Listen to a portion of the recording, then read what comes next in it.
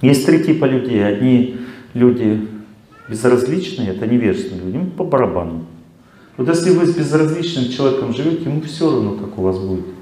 Значит, вы э, должны подальше от него держаться и просто молиться, чтобы Бог поставил такие условия, чтобы он понял, что надо меняться. И по-другому никак ему ничего не объяснишь, ничего с ним не сделаешь. Это называется невежественный человек. Дальше второй тип людей, это большинство людей, безразличных мало. Большинство людей ставят правила или принципы выше человека. И поэтому ругаются друг с другом, постоянно доказывают друг другу все. Это называется страстные люди. Люди, которые чувствуют свою правду и пытаются ее добиваться изо всех сил. Есть женская правда, есть мужская, они противоположные.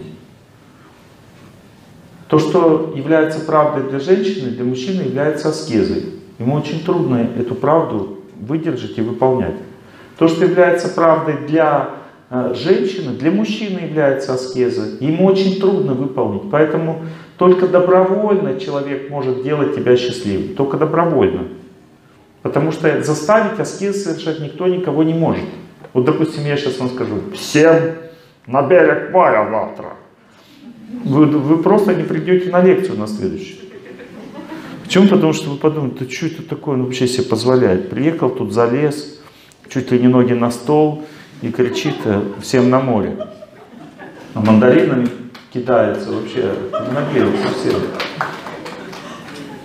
У нас так себя не ведут в Украине. На скольких стульях? Ну, сколько положено.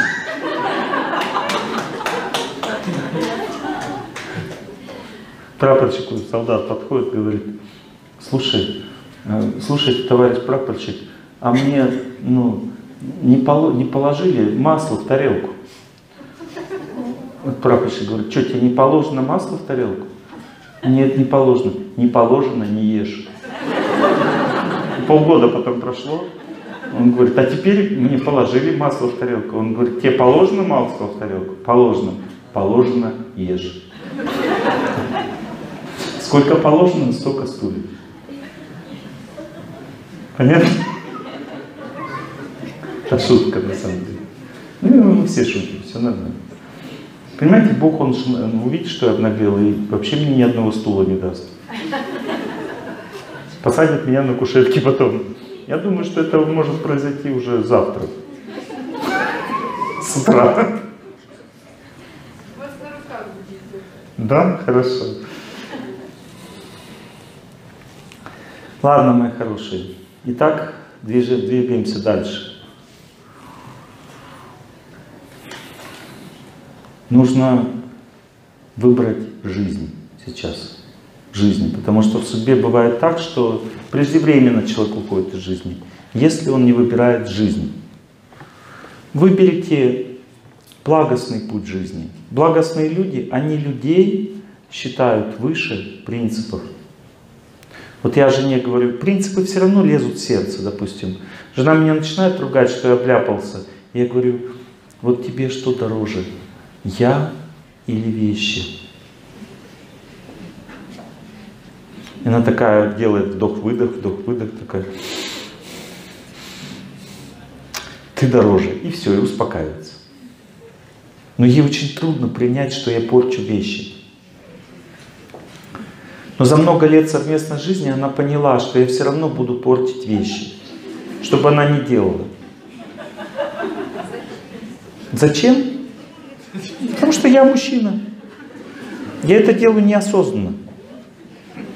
У меня очень высокие мысли в это время, и я пропускаю пищу мимо рта. Мужчине же нельзя запретить мыслить очень возвышенно. И иногда у меня очень возвышенная мысль пошла, и как бы обычно это бывает, когда не отстирывается что-то, и раз, и все. Поэтому жена у меня стелит, мне манишку делает.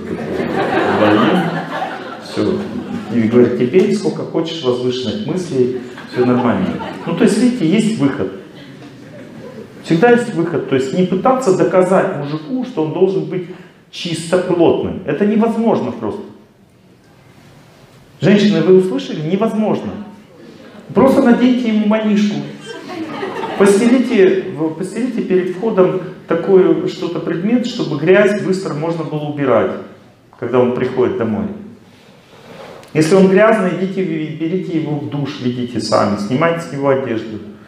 И все, и все будет под контролем. Он же не против, он не сопротивляется, просто он не может вам гарантировать чистоту. Ни один мужчина.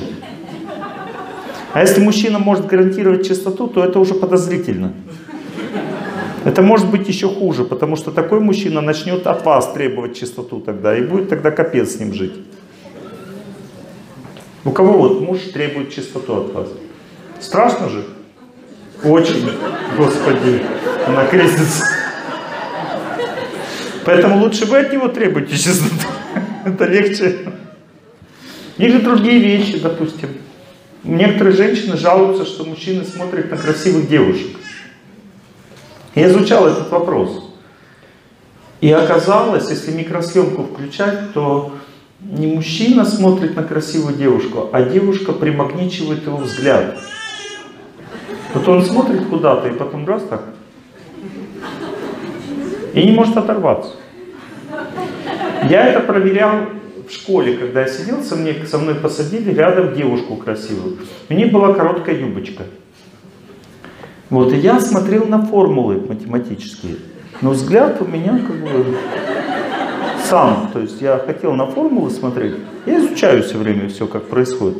Я хочу на формулы, а в глаза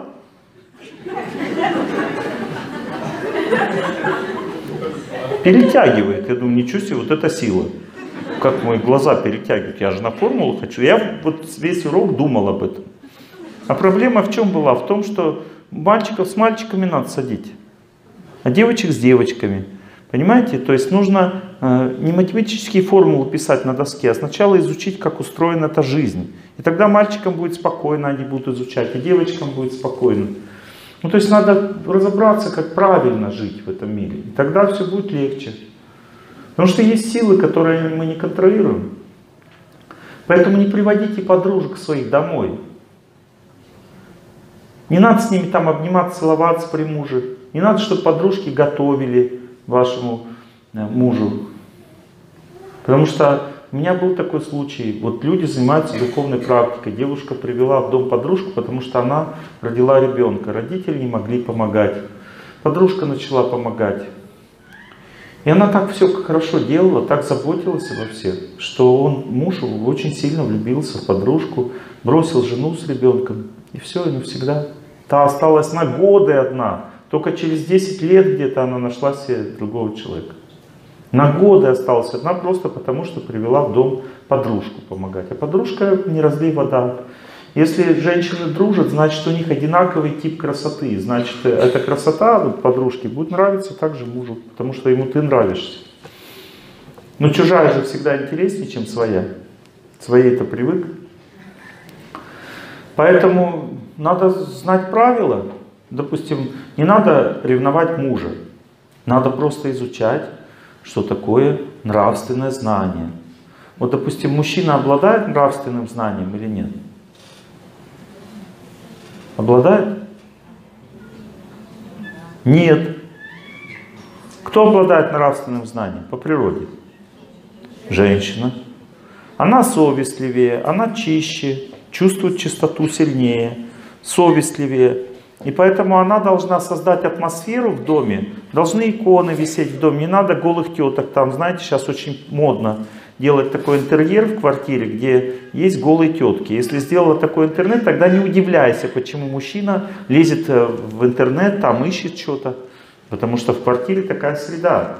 Если ты сделал правильную среду, там иконы у тебя на, на стенах, а не голые тетки висят, тогда мужчина будет более чистым рядом с тобой. И он меньше будет смотреть, хотя взгляд его будет притягиваться к женщинам. Поэтому нужно просто научиться самой создавать чистую среду, оберегать своего мужа от грязи. И тогда он будет э, стремиться к чистоте уже, а не грязи. Ну то есть видите, есть два пути. Один путь ругать мужа за то, что он смотрит на девушек. И у него невроз разовьется от этого. Знаете, бывает у мальчиков или у девочек там запоры. И потом, если изучать ситуацию, почему? Потому что они в детстве какались. И когда родители сильно ругают, что они какались, они потом боятся какать вообще. Наступает запор психический. Человек боится в туалет ходить просто.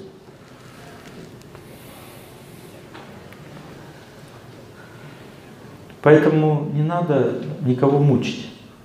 Только через доброту, через любовь можно решать все вопросы. Есть естественные трудности в отношениях с мужчинами, есть естественные недостатки мужские, есть естественные недостатки женщин. А в плохой период все это обостряется. Сейчас плохой период идет, сейчас жесть.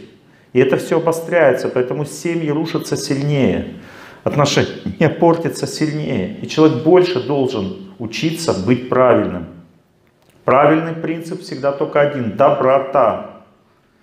И запомните, отношения между мужем и женой должны иметь легкий стиль. Что значит легкий стиль? Это значит шуточки-прибауточки. Не заостряем ни на чем вопросы. Легкий стиль, только в легком стиле может двигаться легко энергия любви. Когда люди начинают усложнять отношения, делая их серьезными, энергия любви застаряется, она не движется. Деловые отношения имеют такую природу, они серьезные. И там любовь означает выполнение своего долга. Понимаете? Там ты любишь, значит ты выполняешь долг. Там это другие отношения. Но отношения семейные, они легкие по природе. Ты можешь шуточку что-то сказать, что ты неправильно делаешь. И тогда человек лучше поймет. Понимаете? Я, допустим, рассказываю, как я жену научил э, мыть посуду на кухне. Ну, то есть у меня жена, она такая чистюля, что ей, когда она моет посуду, она сильно устает на кухне, когда моет посуду, сильно устает, и поэтому она не хочет ее мыть, потому что очень сильно устает. Ну и на кухне иногда скапливается грязь. Потому что она уже не может туда смотреть даже в эту сторону. Она сильно устает, потому что ей надо каждую тарелку по часу мыть, там, чтобы она блестела. Ну, такая особенность характера.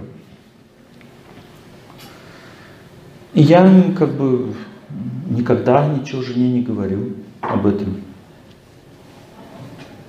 Иногда я сам начинаю мыть, она подходит, говорит, вот молодец, хорошо, но теперь уходи. Потому что я включаю ее, как бы она...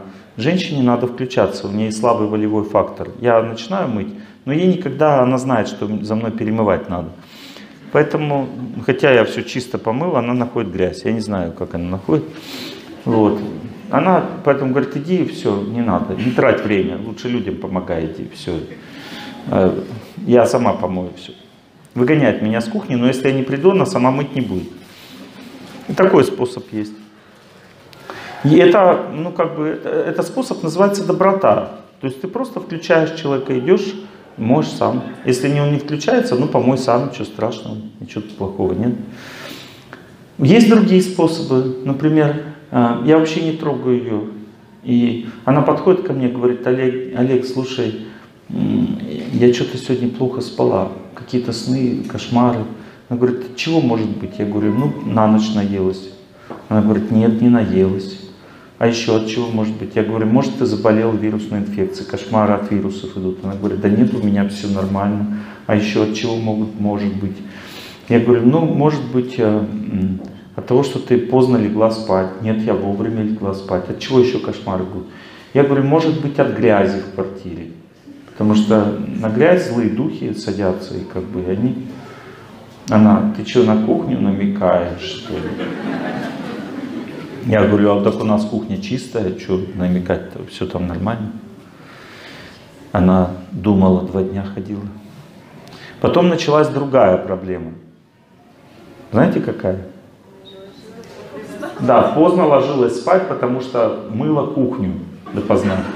И мне теперь надо было ее оттащить от этой кухни, чтобы она спать вовремя легла. Любовь меняет человека постепенно, и это все происходит. Если я жене говорю, допустим, иди, пройдись, пожалуйста, иначе ты будешь болеть, она говорит, иди сам пройдись. Я тебе что, мужик, что ли, ты меня выгоняешь на улицу? Вот. Ну, как бы я сам и начал проходиться. То есть я бегаю и все время счастливый прихожу, говорю, я бегал, мне так нравится, мне так хорошо. Я описывал подробно, что со мной происходило и происходит после бега.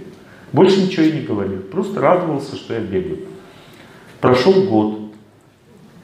Ого, а что вы думали? Прям за 5 секунд?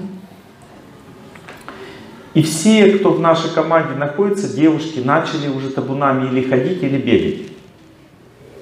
Вот все до одной. Кроме моей жены.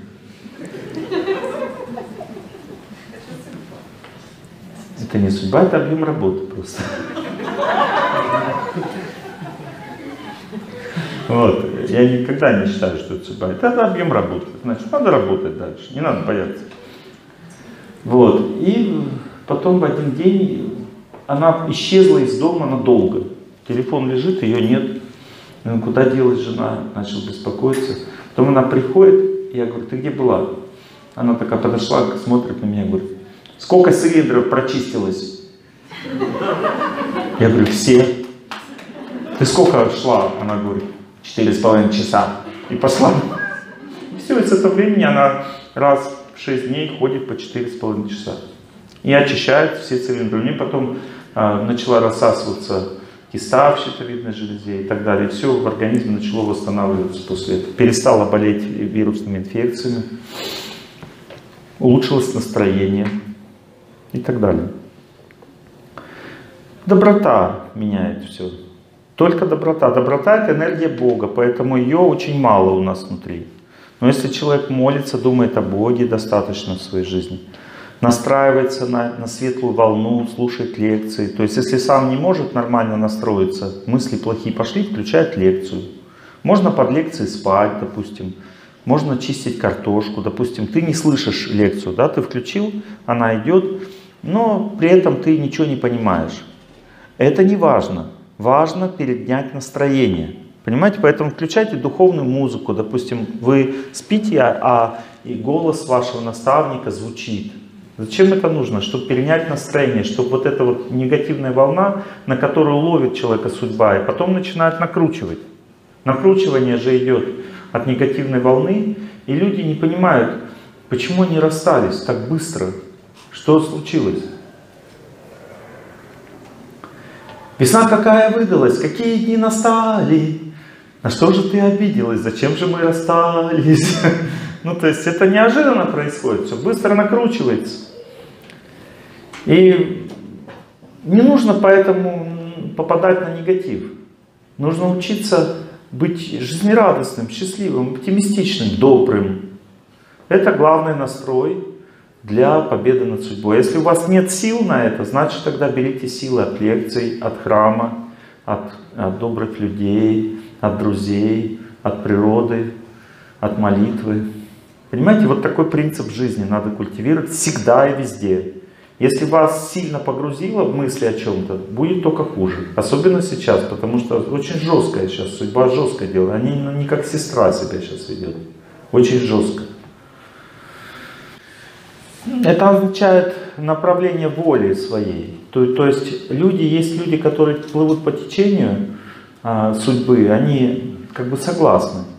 Вот, допустим, а, есть такой вид э, удавов, они э, открывают пасть просто.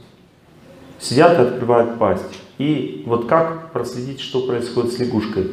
Она прыгает мимо по своим делам. И вдруг видит вот удава с открытой пастью и думает, не может быть, страхи-то какие. Неужели это удав? останавливается, посмотреть, ну неужели все так опасно? Дай-ка я подпрыгну и посмотрю. Неужели по-настоящему прямо смерть передо мной?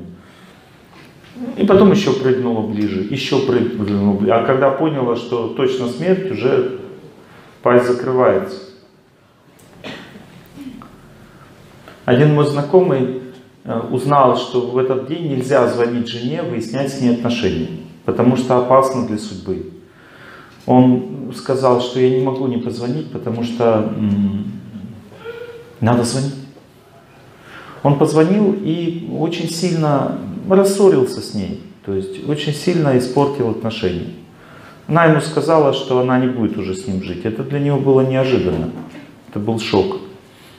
На следующий день он решил ей позвонить и дальше продолжить беседу на эту тему. Но астролог ему сказал, что если ты сегодня позвонишь, то тогда полностью навсегда разрушится твоя семья. Так стоят планеты. Но он сказал, я не могу не позвонить, потому что мне надо. В результате разрушилась его семья. Как вы думаете, чем это отличается от вот этой вот системы удав и лягушка? Ничем. А теперь посмотрите на свою жизнь. Чем у вас в жизни от этой системы все отличается? Разве вы сами не так же сделали? Когда была ситуация, когда не надо было что-то делать, но вы все равно делали, потому что это заставляла вас судьба.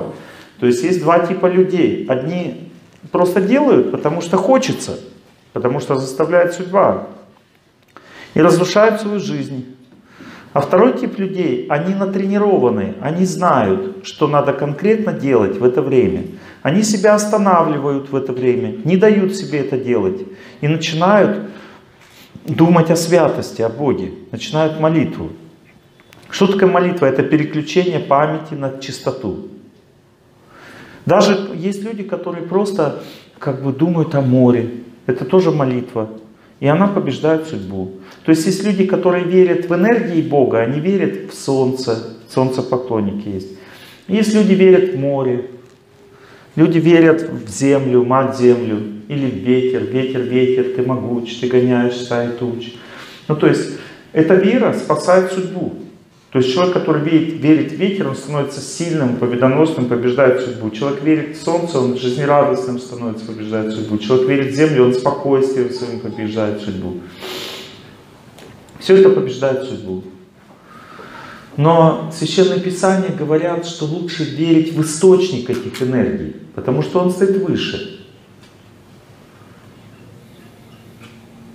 И тогда все эти энергии в этом источнике начинают действовать одновременно. Тебе Бог даст то, что тебе нужно. Может быть, тебе не энергия ветра сейчас нужна, а энергия солнца и так далее.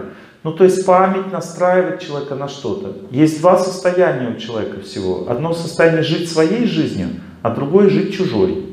Вот когда я сказал жить чужой, сразу это напрягло внутри. Да не хочу я чужой жить, я хочу своей жить, смотря чьей.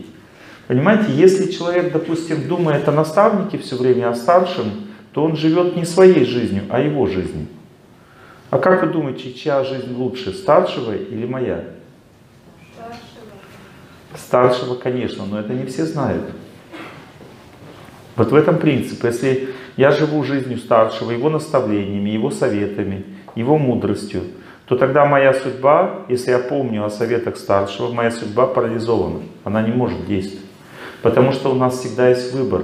Некоторые люди говорят, что если действует судьба, астрологи особенно говорят, как бы все, у тебя по гороскопу осеннее пальто можешь не покупать. Понимаете? Это неправильно так думать. Почему? Потому что у нас всегда есть выбор, о чем думать. А именно память человека, от мысли человека все зависит. Понимаете? То есть именно память человека направляет его или в сторону победы, или в сторону поражения. Потому что если, допустим, э, тебе по гороскопу ты должен осенью помереть, то у тебя еще до, до осени, допустим, три месяца. И у тебя есть возможность помнить о Боге все три месяца и победить свою судьбу. И не умереть, а жить дальше. Потому что это циклическая судьба, она не всесильна, она может отступить. Понимаете, поэтому судьба это просто экзамен всегда. И экзамен памяти именно. И через память человек побеждает судьбу. Если ты помнишь о победе, о хорошем, помнишь о Боге, то судьба начинает отступать. Как она начинает отступать? Тремя этапами. А, первый этап. Твоя память о событии становится не такая страшной. Вот, допустим, муж бросил тебя, да? И ты даже думать о нем не можешь, так тебе обидно.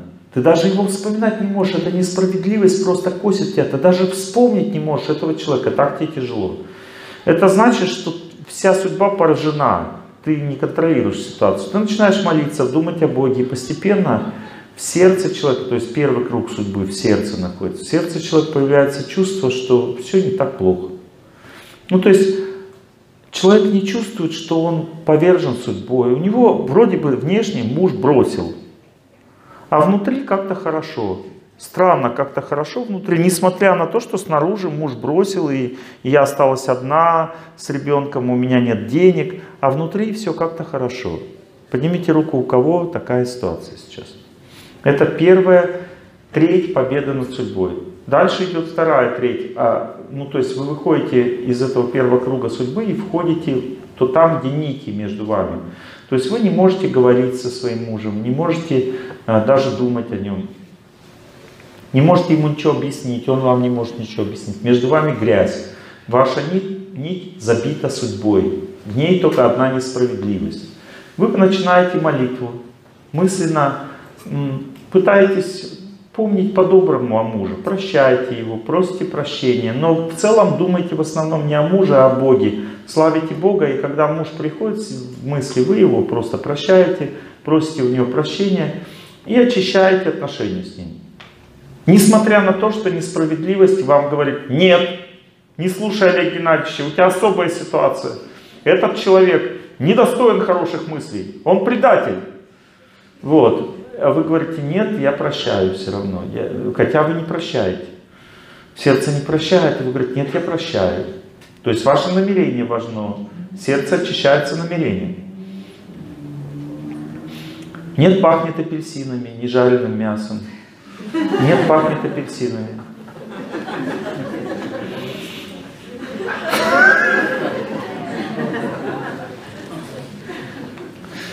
Это была шутка. Злая судьба, сейчас плохой период, поэтому пахнуть может чем угодно на лекции. Здесь ненужные встречи встречаются, здесь горела, пожухла трава. Понимаете, то есть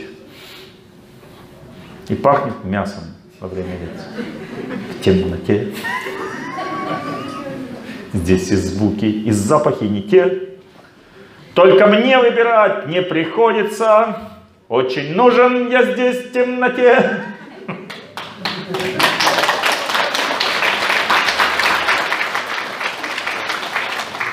Это считается осквернение, когда жареным мясом пахнет во время ну, чистого действия. Это считается неблагоприятным знаком. Но нам по барабану. Потому что сейчас идет плохой период, и мы не обращаем внимания на знаки. Мы обращаем внимание только на то, что дает победу. Память переключаем на чистое и светлое. Не разбираемся ни с чем. Идем вперед. Услышали?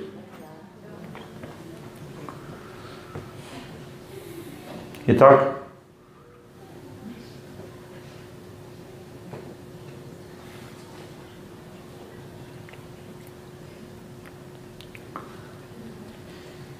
Человек всегда выбирает между добротой и злобой. Когда судьба наваливается, хочется злиться. А надо доброту культивировать, и чистоту, и спокойствие, и терпеть, и память.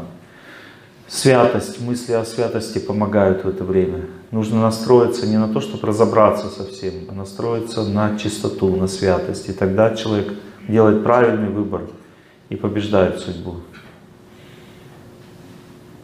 И даже можно поменять запах в зале. Знаете об этом? Потому что запах это энергия осквернения или милости. Вот, допустим, настраиваешься на чистоту.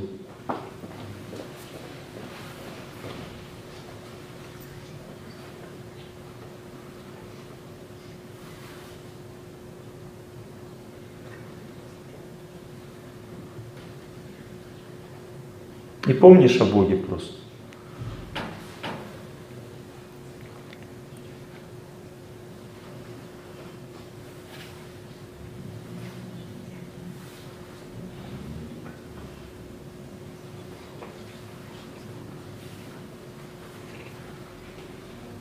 Запах меняется?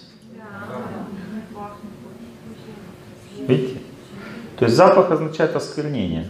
Но можно настроиться на Бога и не оскверняться. У нас есть всегда выбор. Или подчиниться злой судьбе, или восстать против нее. Мы проветриваем. Проветрить надо, конечно. Об этом тоже речь. Но бывает, что запах идет от судьбы, не от помещения. Я говорю сейчас не о сейчас, а говорю вообще. Я вам говорю о жизни. Очищение организма, очищение молитвы себя, своей жизни – это правильный путь. Надо всегда проветривать, надо вставать под душ несколько раз в день, стараться, очищать себя. Если есть ванна, иногда воду класть, вода всегда очищает. Память очищает о Боге, музыка очищает атмосферу. Я разок даже жил в Тольятти, там очень тонкие стены, и там просто слышно, как соседи говорят. Когда они ругаются, это невыносимо. И мы включали просто духовную музыку с женой, включали духовную музыку, и через две недели непрерывного звучания музыки они перестали ругаться. А потом, когда мы поехали в отпуск, приехали, они опять ругаются. Мы опять включили духовную музыку, через две недели где-то они перестали ругаться. И так постоянно звучало. Она звучала на такой высоте, что они практически ее не слышали. Но влияние шло. И они перестали ругаться, потому что шло доброе влияние. Ну, то есть это называется очищение, как проветрить воздухом помещение. Это все надо делать. Очищать пищу от грязи, готовить только чистую пищу, не есть грязное. Мясо это грязное, это оскверняющая пища, не надо ее есть. Заводить депрессию в свою психику не надо. Нужно чистоту заводить. Мясо это энергия насилия. Насилие рождает насилие. Белков, жиров, углеводов в молочной пище хватает и, и в растительной тоже. Нет такого, что нет, есть незаменимые аминокислоты именно в, массе, в, мя, в мясе. Это как бы это просто выдумки. И причем старые уже. Где-то в 50-х годах прошлого столетия так считали ученые. А в 70 каком-то уже ВОЗ, Всемирная организация здравоохранения, приняла резолюцию, что все эти аминокислоты есть в растениях, потому что их научились обнаруживать. И все, эта тема закрылась, но людям же надо оправдать свое вот это желание мяса. Поэтому они постоянно эту тему муссируют, хотя давно она уже забыта.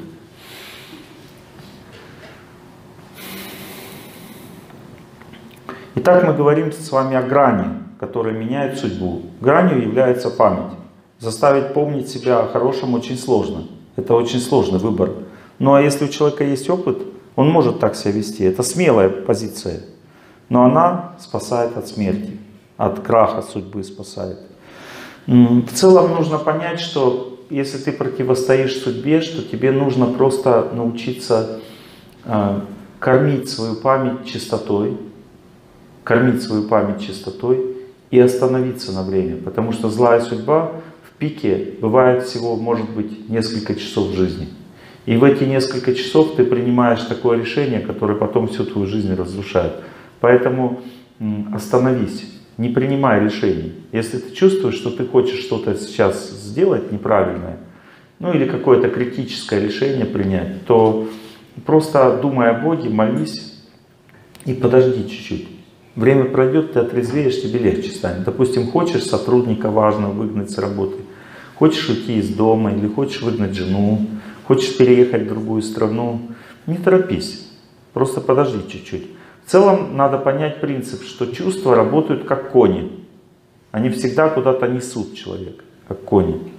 Человек это возничий, разум этот возничий. И коней нужно поить мыслями о Боге и о чистоте. Тогда они останавливаются, они становятся, перестают быть бешеными. Когда кони звереют, чувства человека, это значит плохой период. И они куда человека несут? В пропасть чувств. Понимаете, это описано в ведах, это аллегория. Высоцкий, когда вот эту песню спел, он, скорее всего, Бхагавадгиту читал, потому что там именно так описано, что чувства — это как кони, они бешеные, то есть они несут куда-то возничего. Просто потому, что у них есть желание сильное. Вот желание бросить мужа, поменять свою жизнь. Это желание вспыхивает в сердце, как огонь и горит. И чувство в это время надо напоить. Ну, то есть напоить памятью о Боге, памятью о чистоте. И, и когда чувства успокаиваются, то тогда ты побеждаешь злую судьбу. Итак, первая стадия победы это спокойствие в сердце, все будет хорошо. Вторая стадия с победой, ты можешь уже общаться с мужем. Вот раньше ты даже думать о нем не могла, а сейчас ты с ним разговариваешь по-дружески, но он возвращаться не хочет. Живет со своей старой, ну, своей девушкой. Поднимите руку, у кого такая ситуация. Отлично. Это называется вторая стадия победы над судьбой. 60 с лишним процентов уже. И дальше последние 30 процентов это изменение сердца мужа. То есть ты молишься, продолжаешь молиться, и дальше у него совесть начинает просыпаться в сердце. То есть совесть у него просыпается в сердце, он уже чувствует, что он неправильно поступил, что ты хороший человек, что тебя не надо бросать, что там у него не будет все получаться, потому что он против воли Бога пошел. То есть он все это начинает понимать, что он совершил ошибку в жизни, что такие поступки нельзя совершать. Начинает понимать. Но дальше, может быть, у него там уже рожается ребенок, или он просто не хочет возвращаться, потому что он не любит возвращаться. И может так случиться, что даже если он полностью все понял, что ты лучше, даже, все равно он решил не возвращаться. Но как это определить, что ты отработал всю судьбу? Это можно легко определить. Вот если у тебя чистая светлая память о нем осталась, и ты уже как бы думаешь, что разницы нет, что он вернется, что нет. Ну, то есть вернется хорошо, не вернется тоже хорошо. Это значит, что у тебя там ничего не осталось уже в этой судьбе. А если у тебя ничего не осталось, если три стадии ты прошла, он как бы ну, совесть у него включена, он сожалеет о том, что произошло, у тебя чистая светлая память о том, что произошло, то дальше все очень просто. Запомните, у Бога мужиков завались. Ему найти мужика для любой женщины вот так вот. Понимаете, мешает наша судьба. А если судьба не мешает, то Бог кого находит? Такого же, как муж? Лучше, потому что ты же отработал судьбу. Он уже до тебя не дотягивает. Он уже остался на прошлой станции, а ты уже на следующей. Поэтому он тебе даст лучше уже. Но если ты э, возвращается муж, то тоже будет лучше. Если он возвращается, тоже будет лучше. Он не будет старым уже. Как было раньше, уже не будет. Почему? Потому что ты молитвой своей его изменила. Он, если не будет лучше к тебе относиться, то не будет с тобой жить. То есть теперь ты уже диктуешь ситуацию, не он. Раньше он мучил тебя, а теперь ты будешь мучить его.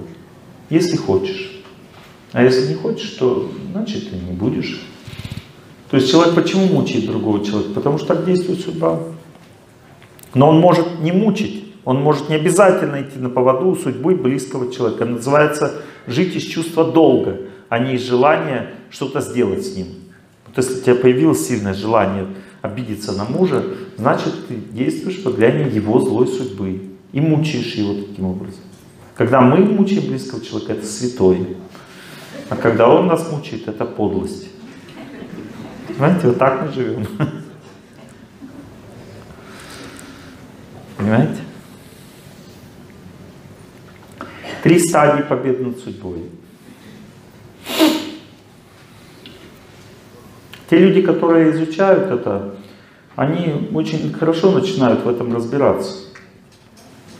В целом есть определенное а, правило, как нужно совершать молитву. Это, эти правила мы завтра с вами будем обсуждать. Мы изучим это все, все эти правила. У нас э, лекция до 8, да? Да? Время без 28. Ваши вопросы по сегодняшней лекции? Да? Надо посмотреть свое сердце, помолиться. Если у тебя все нормально в сердце, а у вас все нормально, значит можно начинать. Если у женщины есть сильный страх, чувство опасности, она не хочет, у нее сердце противится тому, чтобы зачинать детей, то не надо этого делать. Если у женщины сердце противится зачинать детей больше пяти лет, значит она просто боится с прошлой жизни зачатия, и не надо обращать внимание на эти ощущения. Надо просто из чувства долга зачинать, иначе останешься без детей. Но если, допустим, тебе когда-то хотелось детей, а тут вот сейчас перестало хотеться, чуть-чуть подожди. Когда опять захочется, может быть годик. В целом есть такое правило. Если женщина родила ребенка, то она, ее организм как бы становится пропускным пунктом для детей.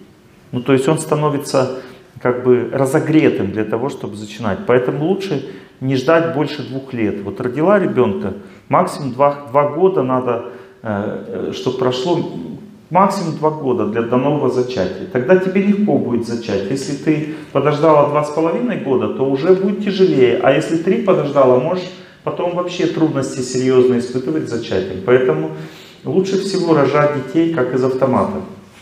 То есть по очереди. Ну, то есть это такой очереди. Вот сколько вам надо? Два, три, четыре. Очередь выпустила.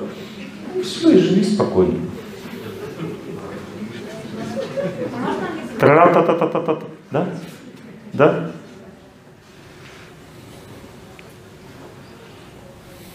Добрый день.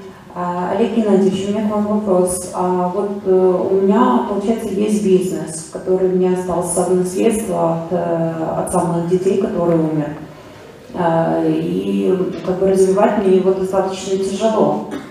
Но при этом у меня подтягиваются многие люди. Вот, вот, мне... вот, вот я это хотел вам сказать, что вам тяжело развивать этот бизнес. Но как этот бизнес развивался? Он развивался через мужа.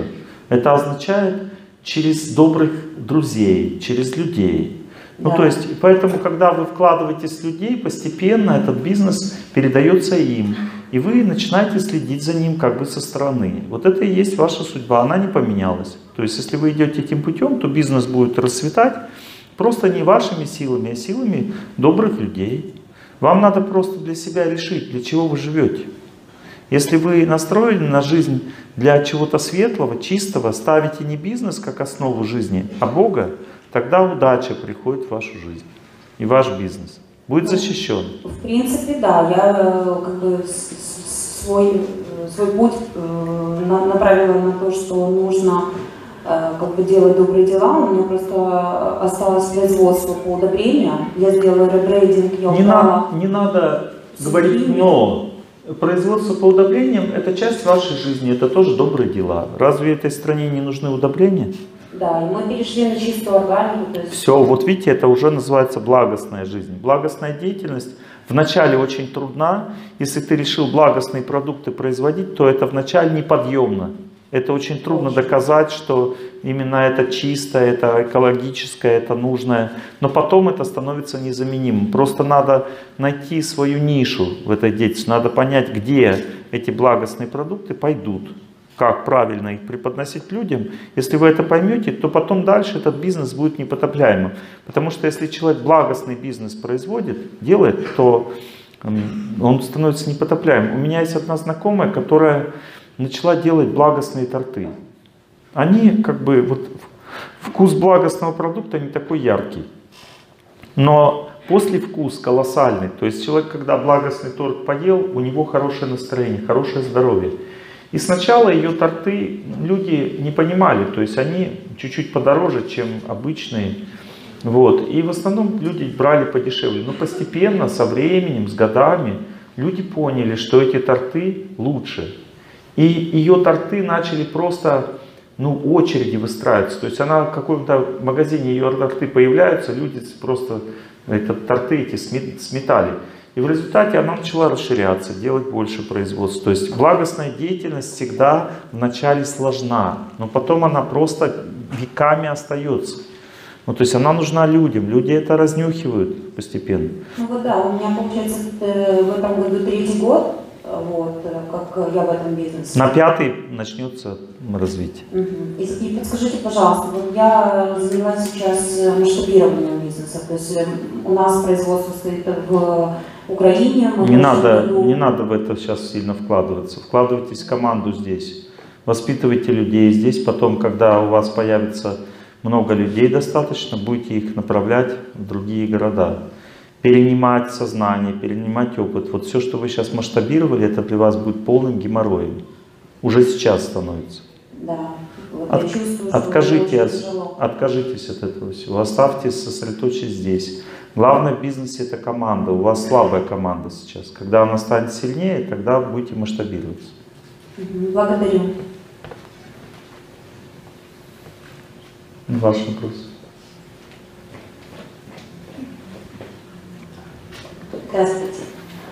А, У меня вопрос по состоянию здоровья. А, Панические атаки, страхи. Это напряжение просто, напряжение в психике. Напряжение снимается длительным движением, неподвижным положением тела. Будете это делать, это все будет проходить. Это просто напряжение. Не надо из этого делать что-то такое очень серьезное. Например, вы придете к бабке-гадалке, она скажет, вас сглазили. Если придете к врачу, вам скажут, у вас психостения, нужны транквилизаторы. Ну, то есть они вам не скажут, как лечиться, а начнут вас пугать или давать вам какую-то замену жизни. Потому что что такое таблетки? Это вы как бы изолируетесь от жизни. Ну, то есть печень не лечится, а просто вы не чувствуете, что она больная. Ну, то есть это не, не вариант. Вариант это победить эту проблему. Есть разные типы старения. Есть напряжение, есть жар, есть токсины. Три типа старения. Напряжение побеждается с помощью длительного движения и неподвижного положения тела. Жар побеждается с помощью неподвижного положения тела и с помощью поста на воде. А токсины побеждаются с помощью длительного движения и поста на воде. Видите, каждый тип старения побеждается двумя разными типами аскезы. Нужно просто это делать, и вот это напряжение из психики уйдет, уйдут страхи, и все, и атаки вот эти. Панические атаки означают, вот эта энергия страха завладела вами, вы ничего с ней не можете сделать. Это означает просто усталость, и все. Она бывает разной. То есть у меня сейчас неплохой период?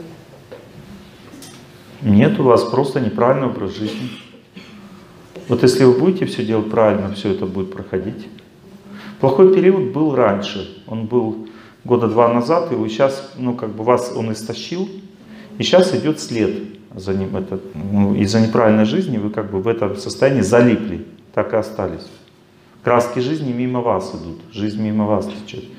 Надо просто жить на светлой стороне.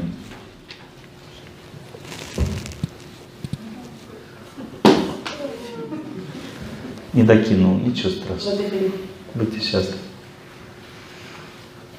По лекции, да, вопрос или нет? Что-то вы мне все о чем-то непонятном спрашиваете. По лекции, да? Да? Давай.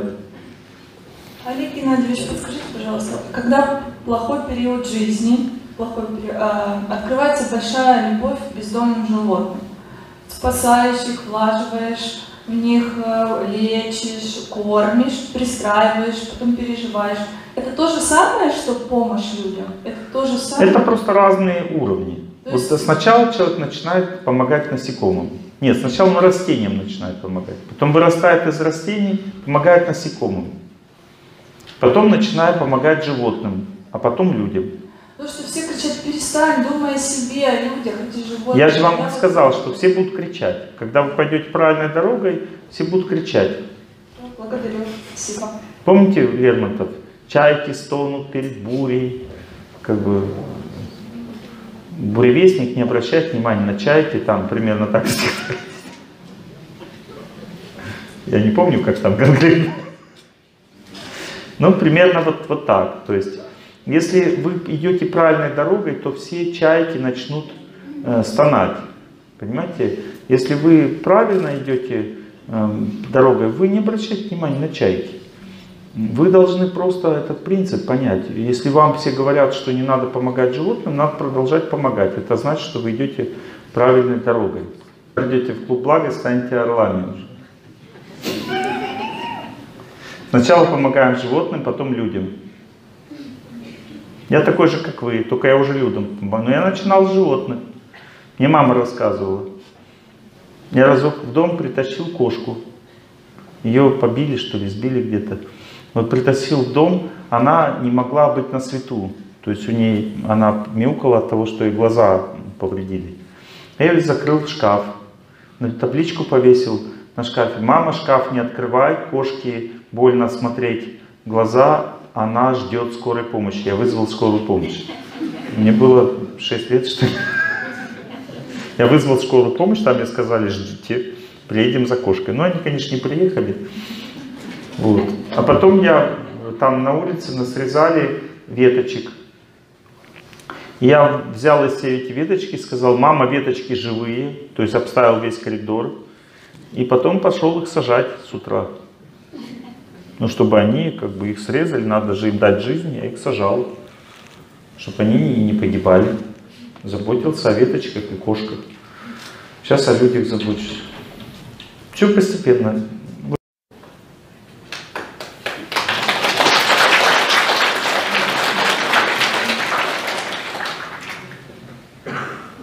Ваш вопрос? Девушка вот в голубом, голубом. Да, дальше, дальше. ага. Э, Здравствуйте, Олег Геннадьевич. Я очень благодарна вам за вашу помощь. Я давно слушаю ваши лекции. Но вот у меня остается один такой вопрос, не могу для себя разрешить, вот по поводу помощи близким людям. Когда они вроде как понимают, стремятся к развитию, стремящийся человек, но когда у них сложный период, им очень сложно помочь. Вот у меня муж, он э, в прошлом году у него началась ситуация очень тяжелая. Вы неправильно распределяете силы. Вы очень сердобольный человек, у вас противоположная ситуация. То есть вы все свою энергию отдаете мужу и теряете себя. То есть вы сгораете помощи. Это неправильное мышление. Можно даже вообще ничего не делать для близкого человека. Просто молиться за него и помогать. Вот, допустим, у меня сейчас один из родственников ушел из жизни, ему уже ничего не сделаешь. Ему надо просто за него молиться. И молиться в радости, а не в печали. И тогда это помогает лучше. Но вы погружаетесь в человека, в его атмосферу, в его жизнь. Не восстанавливайтесь, не копите силы, и в результате вам тоже становится вместе с ним хуже. То есть вместо того, чтобы вытаскивать из болота человека, вы погружаетесь вместе с ним в болото. Как не погружаться? Для этого нужно понять принцип. Да, спасибо. Принцип победы над судьбой означает восстанавливать свои силы. Вы принадлежите этому человеку, вы должны им помочь. Вам нужно заниматься своим здоровьем молиться, желать счастья. На это тратить достаточно много времени. И передавать настроение этому человеку.